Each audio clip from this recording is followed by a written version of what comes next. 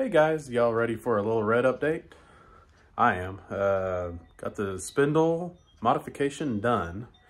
I've decided to stick with the gas pedal issue that I was having. I decided it's not an issue after all. I've decided I like the way it is. I don't really use the dash throttle anymore, so I've now pretty much just foot throttle for a Little Red. So let's get to the modifications.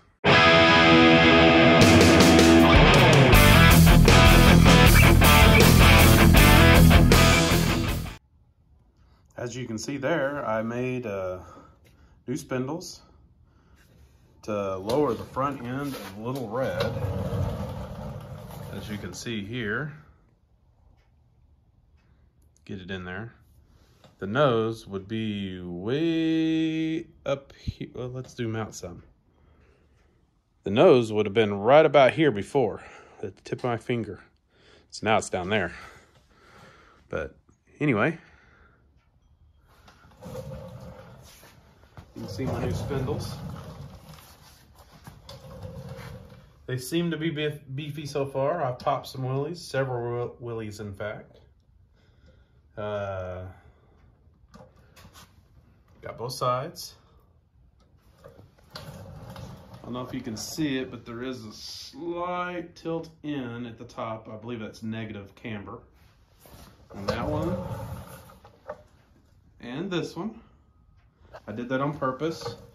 I was thinking maybe when I'm turning, I did, the outside tire would bite just a little harder. And boy, does it.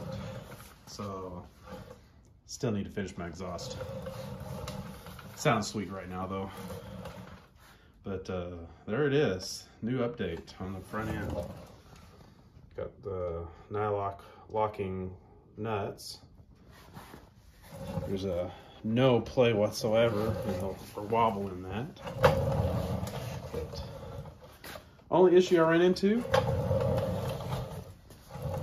is I had to trim this little corner off here after I shortened the bumper from about right here. So I knocked off two inches and then I put in a little slice there and now it clears. Even when I'm uh, turning and I've got full uh, suspension throw going on so no more bumping that uh, bumper. Luckily I checked that before I went riding on it so uh, I didn't get all get things all twisted up. But anyway there's a quick little update on Little Red. Loving the spindles Loving the new front ride height. The seat feels so much better.